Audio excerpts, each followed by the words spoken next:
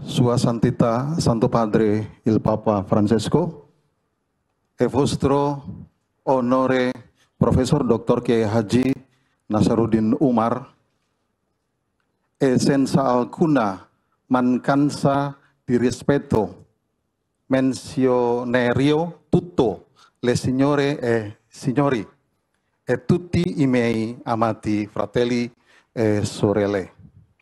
Mi dispiace molto, mi piacerebbe, vorrei leggere questa dichiarazione ufficiale in lingua indonesiana. Uridu an atakalama belogatal Arab, belogatal indonesiana, fil hiwar, hadihi hiwar uh, resmiyah. Deklarasi bersama Istiqlal 2024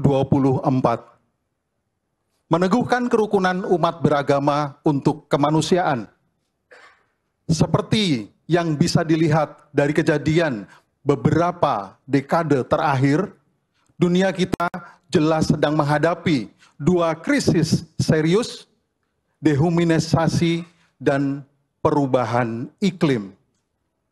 Yang pertama, fenomena global dehumanisasi ditandai terutama dengan meluasnya kekerasan dan konflik yang sering kali membawa jumlah korban yang mengkhawatirkan.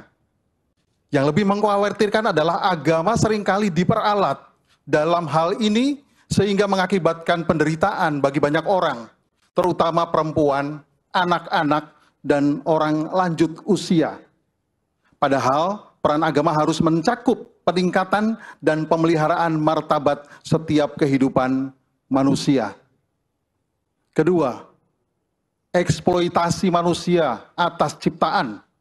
Rumah kita bersama telah berkontribusi terhadap perubahan iklim yang menimbulkan berbagai konsekuensi destruktif seperti bencana alam, pemanasan global, dan pola cuaca yang tidak dapat diprediksi.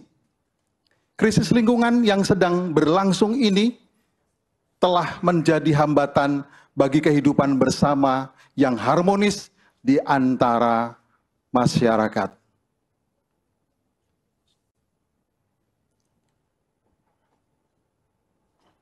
Menyikapi kedua krisis tersebut, sambil berpedoman pada ajaran agama masing-masing, dan mengakui kontribusi dasar dan falsafah negara Pancasila di Indonesia. Kami bersama para pemimpin agama lain yang hadir menyerukan hal-hal sebagai berikut. Satu, nilai-nilai yang dianut oleh tradisi agama-agama kita harus dimajukan secara efektif untuk mengalahkan budaya kekerasan dan ketidakpedulian yang melanda dunia kita. Sejatinya, Nilai-nilai agama harus diarahkan untuk meningkatkan budaya hormat, martabat, bela rasa, rekonsiliasi dan solidaritas persaudaraan untuk mengatasi dehumanisasi dan perusakan lingkungan.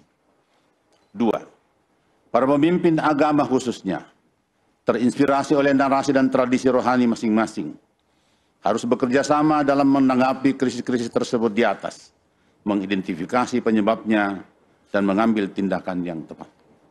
Tiga, oleh karena terdapat satu keluarga umat manusia di seluruh dunia, dialog antar umat beragama harus diakui sebagai sebuah sarana yang efektif untuk menyelesaikan konflik-konflik lokal, regional, dan internasional, terutama konflik-konflik yang dipicu oleh penyalahgunaan agama. Selain itu, keyakinan dan ritual-ritual agama kita memiliki kapasitas khusus untuk menyentuh hati manusia. Dengan demikian menumbuhkan rasa hormat yang lebih dalam terhadap martabat manusia.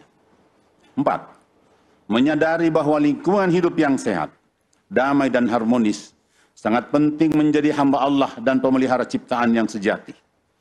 Kami dengan tulus menghimbau semua orang yang berkehendak baik untuk mengambil tindakan tegas guna menjaga keutuhan lingkungan hidup dan sumber dayanya, karena kita telah mewarisinya dari generasi sebelumnya dan berharap untuk dapat meneruskannya kepada anak cucu kita. Terima kasih.